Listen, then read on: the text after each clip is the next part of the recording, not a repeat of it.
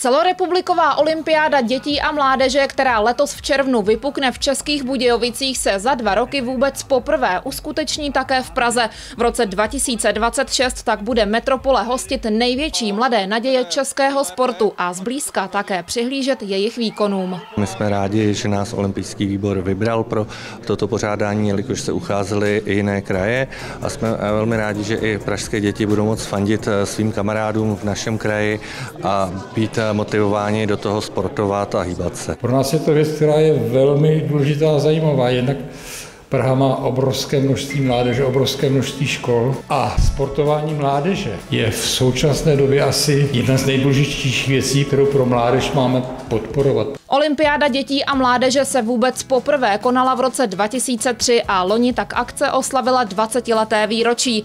Praha ale dosud tento sportovní svátek mladých nikdy nehostila. Událost totiž pravidelně přiláká 4 až 5 tisíc účastníků, pro které hlavní město v letní turistické sezóně jen obtížně schání ubytování. Pomocnou ruku proto magistrátu podali sportovní kluby a vysoké školy. Vysoké školy poskytují ubytovací kapacity vlastně všem sportovcům a účastníkům a co se týká sportovních klubů, tak eh, ty jsou vlastně organizátoři těch jednotlivých eh, vlastně sportů a eh, zároveň poskytují vlastně ta sportoviště.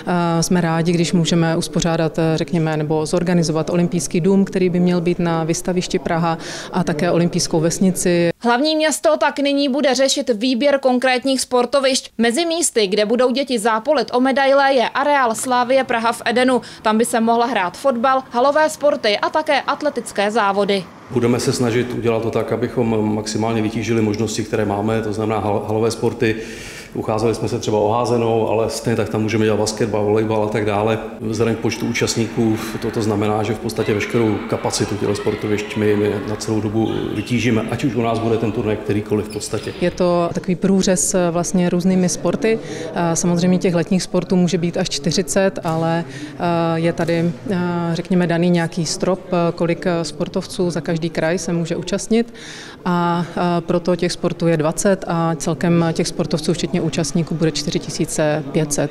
Nejčastější kategorií jsou sportovci ve věku od 14 do 15 let. U některých sportů je to i více. Jsou ale i sporty, kdy se naopak účastní mladší než 14 leté děti. Kristýna Svobodová, Televize Praha.